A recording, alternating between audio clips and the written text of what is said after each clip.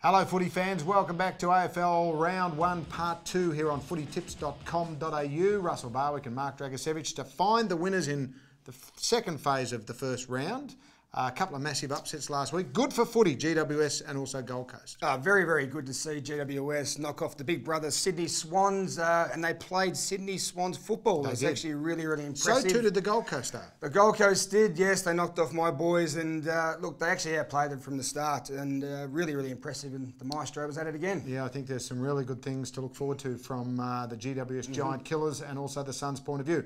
Forget about that. Let's move on to this week. Geelong hosting Adelaide Friday night at Simonds. Yeah, depth will be tested for both sides. Uh, little speedsters, Christensen and Motlop will be mm-hmm. out for the Cats up forward, and also you've got Walker and Lynch up forward for the uh, Crows.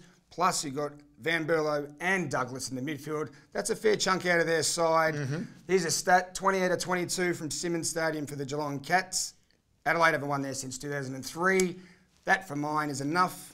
Cats will win. Yeah, you've got to say that uh, stats are on their side. North Melbourne taking on the Bombers. This is an interesting game. How will the Bombers start this year, given what's going on for the last 12 or 18 months? Well, notoriously, they're very fast starters. Yes. And uh, so they've won their last three round one Well, they led the competition the last couple of years. They have. And Brad Scott's team haven't won a round one game since he's taken over coaching. So having an couple of even teams. I'll go with stats like that and history like that and pick the uh, the Bombers. Okay, St Kilda taking on Melbourne in uh, a game that's probably an even Stevens matchup. Well, this could be quite ugly.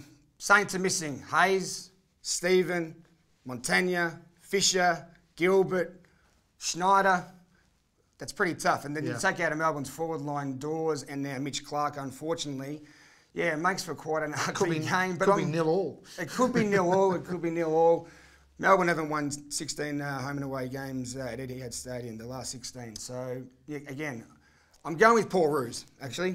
I'm going to go with Paul Roos. Okay, and Hawthorn get the uh, lovely start, the reigning premiers at Aurora against the Lions. Yep, home away from home. They've won their last seven there. They'll make that eight quite clearly, yeah. They've, they've beaten them by an average of 10 goals the last four times. Yeah, hard to argue with that one. And we wrap it up with the West Coast hosting the Western Bullies. Potentially your upset is here, given the Western Bullies get to travel a couple of days in advance. I really think this would be a lot closer than people think. It'll be battle of the midfields. Clearance Kings. We've got Tommy Liberatore for the Bulldogs, and the West Coast were number two last year in clearances. So look, we've got Minson versus Coxon, really, really exciting mm-hmm. matchups, but I think it will come down to the big power forwards of the Eagles. Kennedy and uh, Kennedy and Darling kicked 102 between them last year. Yeah, they're pretty good up forward. That's no doubt about that. Draggers tips on screen now, as you can see them there. The Cats to continue that unbelievable run at Simonds Stadium. Mm-hmm. Essendon to beat uh, the North Melbourne Kangaroos and continue uh, Brad Scott's curse. The Hawks should win. Melbourne to beat the Saints and the Eagles, wrapping it up against the Western Bulldogs.